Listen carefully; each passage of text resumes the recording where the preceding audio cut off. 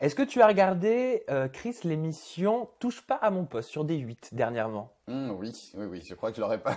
Elle est incontournable. oui. Eh bien, l'émission Belle toute nue a été débriefée par les Ah chroniqueurs oui. de Cyril Hanouna. Mhm. Est-ce que tu as vu ce qu'ils ont dit de toi? Oui, oui, oui. Enfin, ils ont beaucoup parlé de moi euh, personnellement. Je trouve ça un peu dommage parce que euh, j'aurais aimé qu'on me contacte en fait pour parler de moi, euh, pour faire un, un pseudo coming out euh, par rapport à, je crois que c'est Erika Mollet. Oui, justement. Donc, qui- selon Erika Moulet, il est dommage qu'M6 ait choisi une fois de plus, ce sont pas mes mots, ce sont les siens, euh, qu'M6 ait choisi une fois de plus un mec efféminé. Donc, en gros, parlons clairement, un homosexuel, un gay. Être jugé par rapport à une sexualité, ça te gêne? Alors là où déjà c'était très terrible pour moi qu'elle dise euh, quelqu'un d'efféminé, j'ai toujours été efféminé, ça a toujours été, euh, si tu veux, euh, quelque chose qui est revenu assez souvent dans mon enfance et je m'en suis jamais caché. hein. J'ai toujours aimé la danse, j'en ai fait. Mais le fait que ça fasse partie de son argument, est-ce que c'est quelque chose qui te Non, parce qu'en fait, on était en train de parler de savoir si je reprenais bien le flambeau de William et me dire que là encore, ben, c'est un mec efféminé, un mec non, qui n'est pas un mec à femme, qui donne des conseils à une femme. Euh, euh, je trouvais ça un peu compliqué. Je trouve que c'est difficile de parler de quelqu'un sans le connaître. Je trouve qu'elle n'avait pas la légitimité de le faire, surtout qu'elle ne me connaît pas. Enfin voilà. Euh, qu'elle me dise que William était plus légitime parce que lui avait souffert, ben, je pense que euh, tout le monde souffre dans la vie, tout le monde a une histoire et ne- n'en parle pas au- aussi facilement. Je trouve que c'était difficile pour elle euh, et injuste de parler de moi à la deuxième émission sans même avoir pris la peine certainement de lire les choses ou de voir l'émission probablement. Selon Erika Moulet, euh, ton image est faussée dans le sens où tu ne peux pas avoir un véritable regard sur la sexualité féminine comme pourrait l'avoir un homme à femme.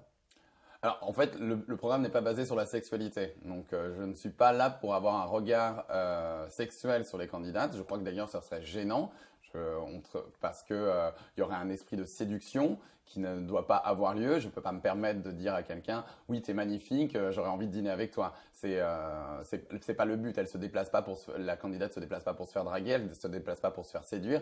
Elle se- déplace pour se, parler d'elle, pour mettre en en lumière ses souffrances et donc avoir une écoute. Oui, ce sont Donc, des femmes complexées. Absolument. Donc on n'est pas là pour, euh, pour, pour la séduire. En même temps, je suis un garçon, j'ai un regard aussi euh, sur ces femmes et quand je leur dis qu'elles sont belles, je leur dis juste parce qu'elles le sont. Elles le sont, elles sont belles à l'intérieur avec une belle personnalité et elles sont belles aussi à l'extérieur. Si on leur donne la chance, si elles se donnent la chance de, de, de, de s'écouter et de, et de, et de s'embellir. Donc c'est juste ça mon conseil. C'est pas un un avantage au final d'avoir un côté euh, féminin? Ben, c'est le côté féminin que Erika euh, reproche, c'est juste euh, ma sensibilité. C'est tout ce qui fait que je travaille dans la mode. Effectivement, j'ai ce côté féminin. Mais je demanderais bien à Erika de savoir, dis-moi, est-ce que ton coiffeur n'est pas efféminé? Est-ce que ton styliste n'est pas efféminé lorsque tu viens sur un plateau? Donc c'est un peu craché sur la soupe parce que tu te sers aussi de cette sensibilité et tu te sers certainement aussi du regard qu'ils ont sur toi en disant que tu es belle quand tu vas sur le plateau. Et ben moi c'est ce que je fais, sauf que voilà, je ne, je ne condamne pas, je dis pas que tous les,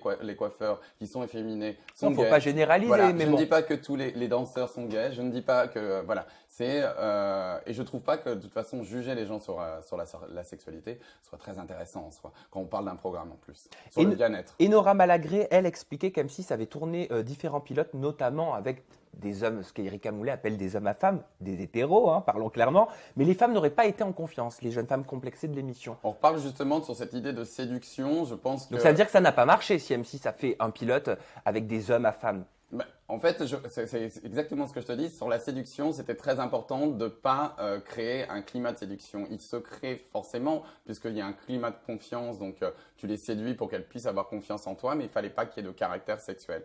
Il y a pas parce que sinon, tous les gestes peuvent être très mal interprétés. Une euh, main dans la main, une caresse dans le dos, un baiser sur la joue, une accolade, tout ça. S'il y avait un background, si tu veux, de sexuel, euh, une attirance sexuelle, ça, ça fausserait en fait euh, le travail qu'on est en train de faire en fait. Donc je trouve que c'est très important que qu'on ait décidé d'avoir quelqu'un qui euh, qui à la limite peut, est féminé et peut-être qui n'a pas du tout d'identité sexuelle. Et moi ça me va en fait, hein, parce que ma vie privée re- reste la mienne.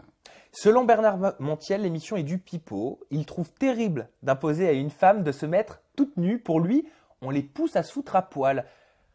Qu'est-ce que tu en penses? Alors je sais pas, c'est marrant de dire. Est-ce que tu les pousses à se foutre à poil? Non, parce que je, le- je n'arrête pas de le répéter. Je pense que euh, Bernard Montiel n'a pas dû regarder euh, les émissions, mais je leur pou- je les pousse absolument pas. Je dis que tout se passe euh, à leur rythme, qu'elles peuvent s'arrêter. D'ailleurs, Sophie n'a pas été jusqu'au bout du nu. Elle, est gardée, elle a gardé euh, son peignoir sur elle pour prendre la photo.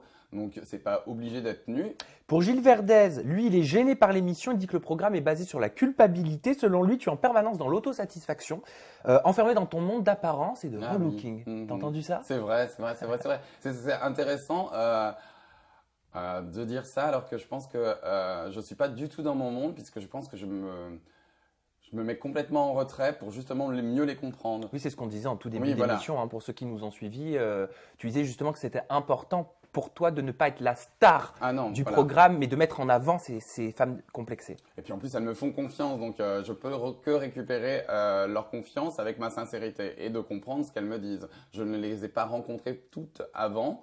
Euh, le contact pour la, pour, euh, pour la plupart se fait sur le plateau lorsqu'elles arrivent pour le miroir. C'est extrêmement douloureux et euh, pour elles. Et euh, bah non, je ne fais pas, j'arrive pas avec mes paillettes euh, et, euh, et mon. euh, Allez, c'est parti, on y va. Allez, ma chérie, on y va et je souris euh, sur commande et, euh, et je, je suis ému sur commande. Et euh, dès que les projecteurs sont éteints, bah, je vais dans ma loge et- en buvant du champagne. Non, c'est pas trop, euh, c'est pas trop comme ça que je suis. Euh, c'est plutôt sincère et euh, bah, tant pis si on pense que tout ça est fake. euh, c'est qu'on n'a pas compris euh, le concept de, de l'émission. Et je pense que tendre une main, que ça se fasse dans une télé-réalité ou que ça se fasse dans la vie, bah, c'est déjà une bonne chose. C'est aussi une qualité d'âme et une beauté de l'âme. Il y en a certaines personnes qui sont un peu dépourvues de cette, euh, de cette beauté. Peut-être, euh, enfin, je ne dis personne, mais voilà. Peut-être Gilles Verdez. Voilà.